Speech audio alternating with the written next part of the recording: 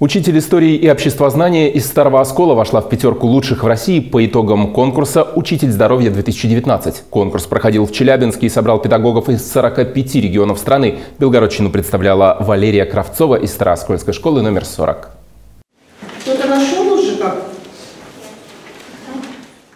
Римская империя, парфяне, германцы, кельты и славяне, многовековые войны, рабство и христианизация. История древнего мира – любимый предмет пятиклассников. Каждый урок – путешествие вглубь веков. Учебник-проводник, а не основной источник знаний. Информацию ребята добывают сами.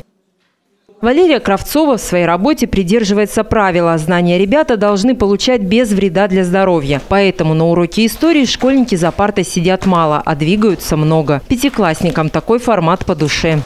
Нам с ней очень хорошо. Мы много всего узнаем про древний мир, путешествуем, ищем клады. Интересные, веселые, подвижные бывают. Как-то сразу все запоминается, ну, нач начинается, ты интересуешься, как там было, что было. Это мой любимый предмет. Она очень добрая и интересно учиться.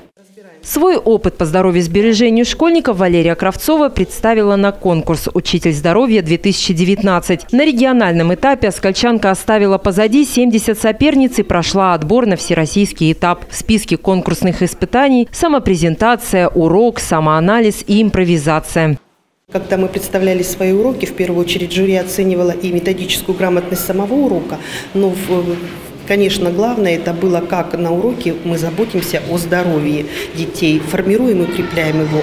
И, наверное, мой урок истории был не совсем традиционным, то есть дети не стандартно сидели за партой, изучая тему по э, учебнику, а было очень много двигательной активности. То есть э, мне повезло, что я работаю учителем истории, и у меня часто уроки путешествия, уроки экспедиции. Э, свои знания дети не просто находят в учебнике, а ищут по, под партами, за спинкой стула, добывают э, различные, мы ищем клады, сокровища и так далее.